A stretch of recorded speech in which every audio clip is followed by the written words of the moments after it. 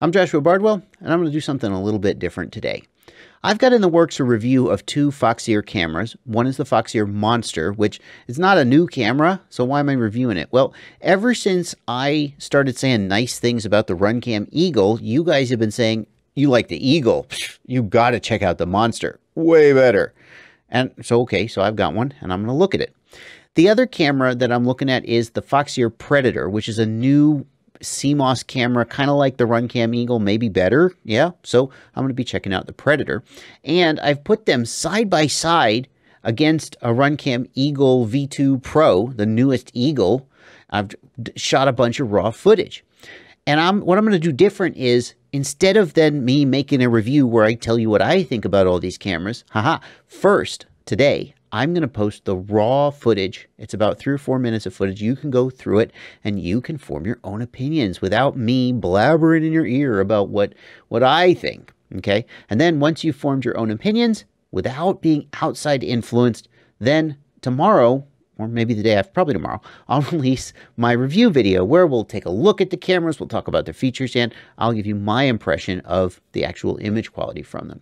And I'm doing this purely for scientific reasons to help you form your own unbiased opinion, and not because it means that I get two days worth of content out of this work instead of one. Yeah, that has nothing to do with it. A couple things that I want you to know uh, when you watch, we're just about to show you the raw footage. One is, um, so there is a Foxeer Arrow Micro Arrow V2 Micro in this. Why is it there? Well, the real reason is that Foxeer threw it in the box. I don't know why they threw it in the box. They just did. And, uh, you know, having only three cameras on screen doesn't look as good as having a fourth camera to fill it out. So it's in there. It is interesting, though, because that is a CCD camera and all three of the others are CMOS cameras. So it's more of like a traditional, you know, image that we would get from an older 1177 style Swift style camera.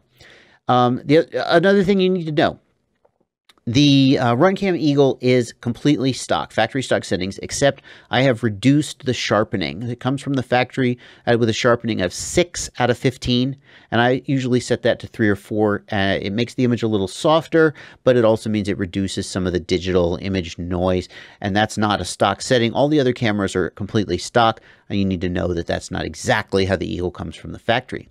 Last thing, uh, the Monster came from Foxeer with a 2.5 millimeter lens on it. All the other cameras have like either a 1.8 or a 2.1 millimeter. They're much more wide angle.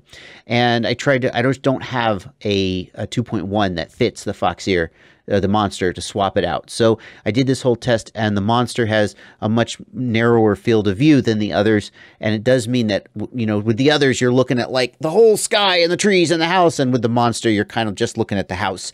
And it may affect, well, anyway, you know, nothing to do about it. Uh, but now you know why the monster looks a little bit different than the others. Check out the raw footage today form your own opinions, see what you think, and then look forward to my review where we'll talk about all the details tomorrow or probably tomorrow, maybe the day after. Thanks for watching. Happy flying.